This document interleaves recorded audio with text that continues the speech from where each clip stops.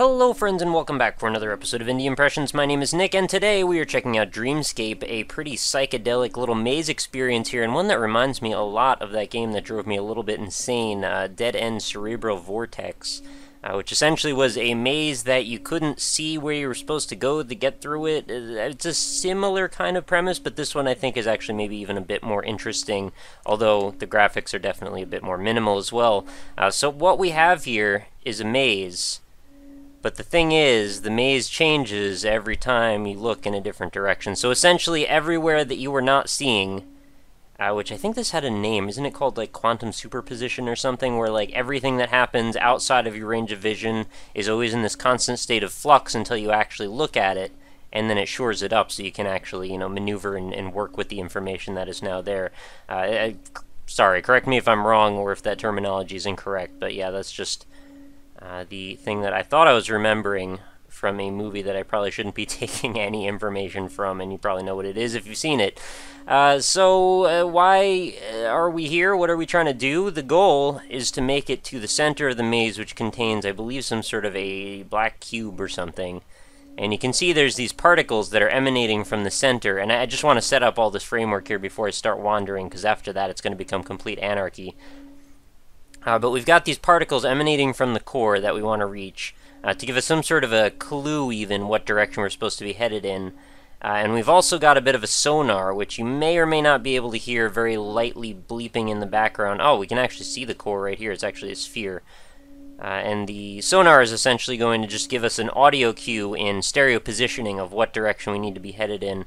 Uh, so I actually don't think I can fail this as long as I don't... Oh, okay. No, it just decided to spawn in front of me. I thought it wouldn't change unless...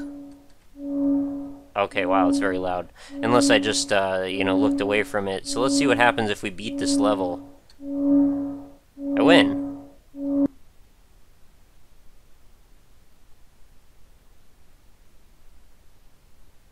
And then we wake up. Well, I wasn't intending to beat the game this fast, for sure. Alright, well we're definitely going to have to do another run of that for certain since I wasn't really anticipating winning that quickly. Uh, so here we are, we've loaded up another run, and we've got some very strange objects here that we can interact with. It's like a very large pill shape cylinder, and we've got a little sphere here we can push around. It's kind of cool that you can actually interact with them. I wonder if you can use them in any significant way. Uh, maybe to like lock in progress if you put it in a certain... No, I don't think that's the case. Anyway, it's very surreal how the map will change all around you like that. You get used to what you think is going to be a compartment, and then all of a sudden it isn't. Uh, plus, there's always... Everything is in this constant state of flux, considering all the tiles, floor, ceiling, walls are all co uh, continually shifting in colors and creating some really interesting uh, clashing color schemes and patterns. Uh, would be kind of a cool concept if you could adapt this to use textures in some way uh, to create a an interesting sense of progression, maybe. Uh, that you could sort of lead yourself through a series of rooms uh, just based on the colors or the, the texture patterns that are going on. You know, maybe it could uh, form some sort of a groundwork for your ability to navigate the environment. I don't know. Seems kind of interesting to me. I, am just really enamored with the idea of the whole thing changing as you look around in circles. Uh, it's a, a, really kind of an interesting idea, and it is also a little bit frustrating, I have to admit. If you are trying to get to a certain place, uh, you know, a, a point in space, the last thing you want to have happen is have everything close around you at all times.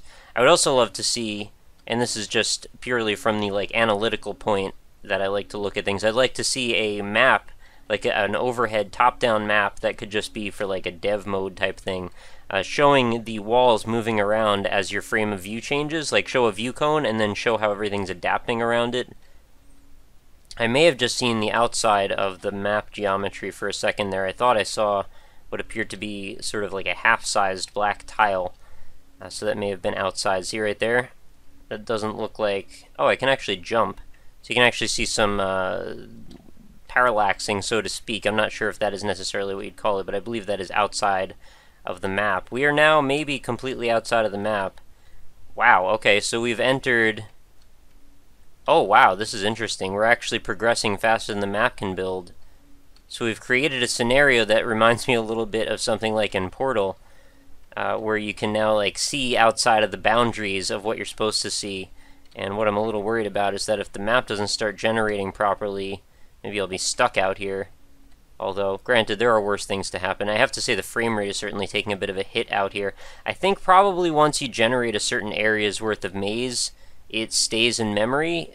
I mean, I could be wrong about that, but it sort of seems like the more I wander, the more the frame rate is getting crappy. So I won't take too long on this episode because I just wanted to sort of talk about this concept uh, as it pertains to game development and how I think this could probably be something very interesting and useful if it's adapted in the right way uh, into a larger uh, full-blown project. I mean, imagine if you were to play a first-person shooter where every time you played the game, and I, I, know there's probably something out there that is similar to this, but essentially everything you see is always in this constant state of flux, and you don't know how to necessarily navigate the levels, but you know you're supposed to go to a certain place.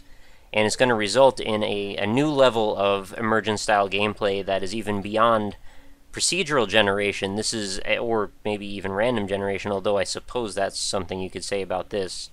Uh, but maybe every single hallway you go down leads to a new area that could essentially lead to more new areas that go on forever if you don't actually focus your effort towards a central point.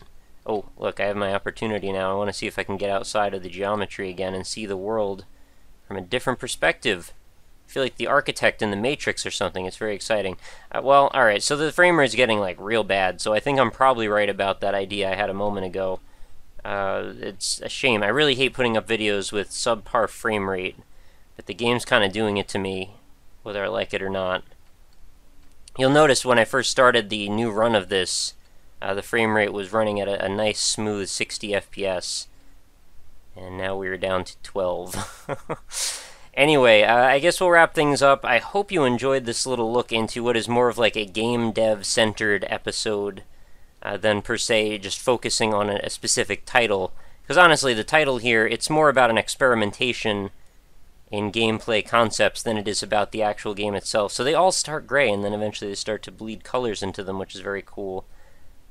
Uh, but I would love to see this concept adapted to somewhere else, uh, given new life, and perhaps made a little bit more of it. I, I figured there were going to be a few levels. It wasn't just going to be, you know, reach the goal once and then the thing's over. But, you know, that happens from time to time.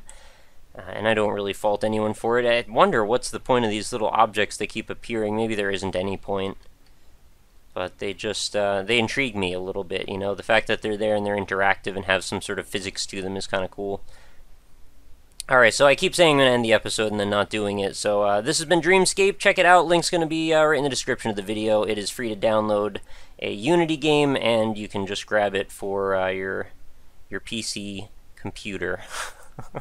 so we've got a few things to run down real quick. We've got indie-impressions.com if you want to stay up on all the new postings in the series. We've got up to very, very close to 450 episodes now in the series, so in case you want to go uh, enrich yourself on some indie games that maybe you missed or some oddball kind of surreal craziness, uh, all of those are available for your perusal over on the website. They're all searchable by categories and different tags and such. I've also got a Facebook page for the series, facebook.com facebook.com slash indieimpressions if you'd like to go over there. Leave a like, it helps me out. Just takes a second if you don't mind. And if you're a Facebook user, of course, then you can stay up on new news, uh, streaming announcements, contest game giveaways, and every day's new episodes, of course, are posted there as well. I do take recommendations and suggestions, so if you're an indie dev or a viewer and you want to get in touch with me about possibly recommending either a game or your game, quickest way to reach me is send me an email. I do have a contact form over on indie-impressions.com, and all of my social media links are available right in the description, as well as the download link for this game, so feel free to look around in the description and leave me your comments.